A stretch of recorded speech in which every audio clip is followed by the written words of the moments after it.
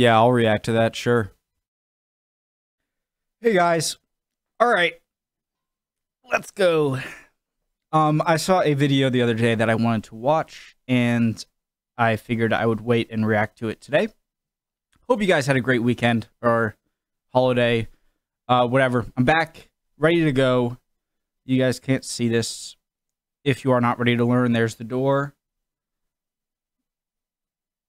Just home X down the hall, all right?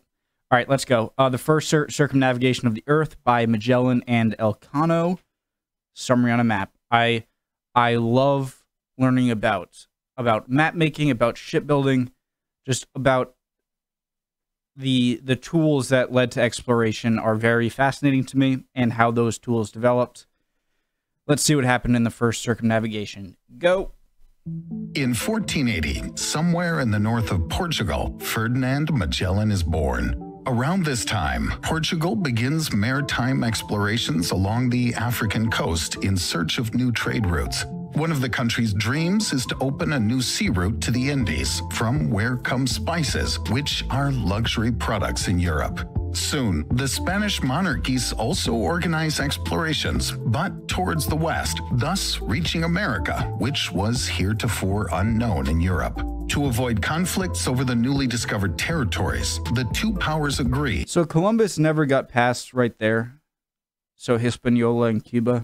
To avoid conflicts over the newly discovered territories, the two powers agree in 1494 to divide the world between them. Spain can claim the new lands located west of the Tordesillas Meridian, while Portugal can claim those to the east. In 1513, in America, the Spanish conquistador Vasco Nunez de Balboa is the first European to discover a sea on the other side of the American lands, which he names the South Sea. Ferdinand Magellan, who had sailed for many years on behalf of Portugal, notably in the Indian Ocean, hears about this discovery and begins to dream of finding a new maritime route to the Interesting. Spice Islands that will bypass America by heading west. You're gonna have but to go a lot the more Portuguese south than that. king opposes the project, as the Portuguese already control the route to the Indies via Africa. In 1517, Magellan tries his luck with the young Spanish king Charles V,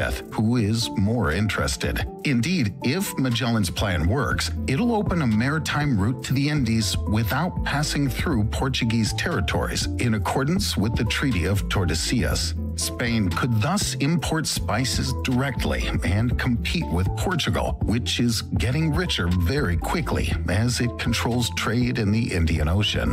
The project is therefore accepted. Learning of this, the Portuguese king, to protect his interests, wants to prevent the expedition at all costs. On September 20th, 1519, Ferdinand Magellan leaves Sanlúcar with five ships and 239 men. After a stopover in Tenerife, the expedition heads for the land of Brazil. Then, after passing the Rio de la Plata, it ventures into the unknown, following the coast in search of a passage to the South Sea. At the end of March, as the climate cools in the southern hemisphere, the expedition chooses to spend the winter in a place Magellan names Puerto San Julian. As soon as they settle in, a mutiny is organized against Magellan by the captains of the other ships. They consider the expedition a failure, with some of them wanting to return to Spain. Magellan violently takes control, killing and quartering some of the rebels. At this location, the expedition meets tall locals that they nickname Patagones, which later will give the name Patagonia to the region. In May, one of the ships is sent to explore to the south, but it sinks. After five months of waiting, with the return of good weather, the four remaining ships set out again. After resupplying in another bay, they reach, on October 21st, a strait that Magellan names of All Saints, which will later carry his name. As they enter the strait, the expedition sees many fires lit by natives on the mainland. Magellan then names the region Tierra del Fuego, meaning land of fire. That's how it gets it. A little further on, the expedition comes upon a bifurcation, whereupon they separate to explore the two different parts. After nightfall, Captain Estevao Gomez seizes the opportunity to turn back and return to Spain. Wow. There, he will accuse Magellan of treason. Gomez will be jailed, and the family of Magellan will be placed under strict surveillance until his return. On November 28, 1520, the three remaining ships finally leave the strait and enter a large sea. They I love the fog of war. they quickly venture deep into it, beginning a long crossing during which water and food run out. The expedition only comes across two uninhabited and inhospitable islets. Starving, the crew eats rats, sawdust, and even the ox hides covering the masts. Further, the lack of fresh food causes a vitamin C deficiency Scurvy. with the crew suffering from scurvy. The crossing is made in mild weather without coming across any storms. Magellan then names this ocean Pacific, meaning peaceful. On March 6th, after 99 days navigating these waters, an island is finally spotted, which they head for. As the crew is about to trade with the locals, the latter start to steal objects from the Spaniards, including a small boat. Magellan is forced to quickly leave the island, which he nicknames the Island of Thieves. The expedition then reaches an archipelago that Philippines. Will later be called the Philippines. Here, contact with the local population proceeds in a better fashion, allowing Doesn't, the Spaniards doesn't he uh, meet his end here? to trade European objects for fresh food. To impress the locals, Magellan regularly fires cannons.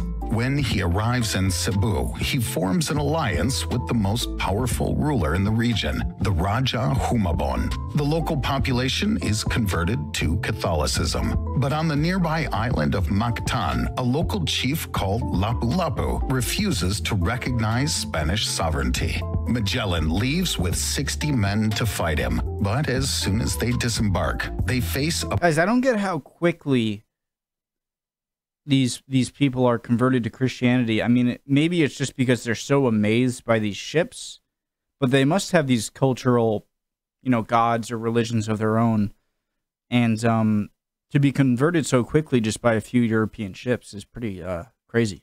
about 1,500 locals, and Ferdinand Magellan embark. They Magellan leaves with 60 men to fight him, but as Spanish son, a local chief called Lapu-Lapu refuses to recognize Spanish sovereignty. Magellan leaves with 60 men to fight him, but as soon as they disembark, they face about 1,500 locals, and Ferdinand Magellan is killed. A few days later, about 20 Spaniards go to a banquet organized by the Raja Humabon, but it's an ambush and they are massacred. Only 108 men manage to flee the island. They separate into two of the remaining three ships and burn the third. On November 7th, 1521, the expedition finally reaches the Spice Islands, which are called the Moluccas. They fill up their ships with cloves and provisions. The objective has been reached, but the challenge for the new commander, Juan Sebastian Elcano, is home? now to reach Spanish lands without being captured by the Portuguese, who are sailing the seas in search of them.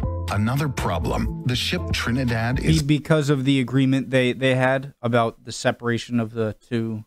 Right? Is that why the Portuguese are, are chasing them? taking on water. Elcano of them. Another problem the ship Trinidad is taking on water. Elcano then decides to leave the ship in place for the time it will take to make repairs. The Trinidad will then head east with the goal of reaching the Spanish lands in America. Elcano leaves with the other ship, Victoria, heading to the west. On February 12, 1522, he enters the Indian Ocean, which he crosses far to the south to avoid being spotted by the Portuguese.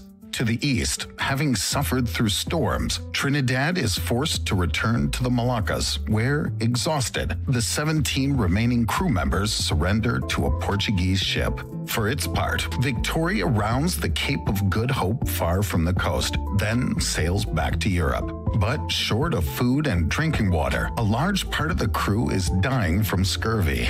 Elcano is forced to stop at the Portuguese islands of Cape Verde. Knowing that they are wanted, Elcano after seeing these ships come back, I mean the the the scurvy must have been well known to people centuries and centuries, if not a thousand years or more before this, right? I mean, or more than that. I, I mean, it, it, had to have been a common disease where people in cramped uh, conditions who didn't get a lot of sunlight or much nutrition suffered from this disease. So when they came back to a civilized part, eh, you know, in Europe, it must have been terrifying for the people to like see these people come off the boats in some ter- some terrible condition.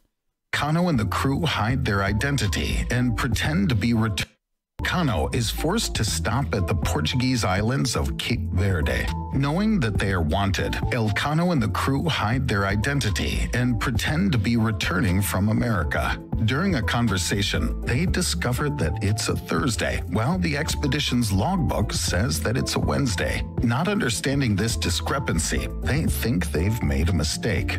13 sailors get off the ship and go to buy food, but they are unmasked, probably because one of them had used cloves as payment, and cloves only grow in the Moluccas. The Portuguese, realizing they're dealing with What are you doing? Come on. Crew members from Magellan's expedition immediately arrest the disembarked sailors. Elcano and the rest of his crew barely managed to flee further west in order to reach the Spanish route back from America. On September 6, 1522, after an expedition of almost three years, Elcano arrives in Sanlúcar with 17 survivors. The numerous spices brought back in the holds largely pay back the costs for the expedition. They are thus the first people to have sailed around the world. Damn, that sounded Unless, that is, it could possibly be Enrique de Malacca. Enrique is a slave of uncertain origins, bought 11 years earlier in Malacca by Magellan, who was then traveling on behalf of Portugal. Enrique had followed his master to the Iberian Peninsula, from where he took part in the expedition to the Spice Islands. In Cebu, he spoke Malay with the local population, but after Magellan's death, he wasn't released, as the captains wanted to keep him on as an interpreter. He was the lone survivor of the banquet ambush and was most likely probably in on it. It isn't known what happened to him afterwards, but if he did manage to return to his native land before Elcano arrived in Spain, he would be the first man to have circumnavigated the globe, taking 11 11 years to do so. That was cool. Cool video for sure. All right, guys. Um, I am going to probably a history hit or a geographics video, maybe a biographics video. Awesome. See you guys next time.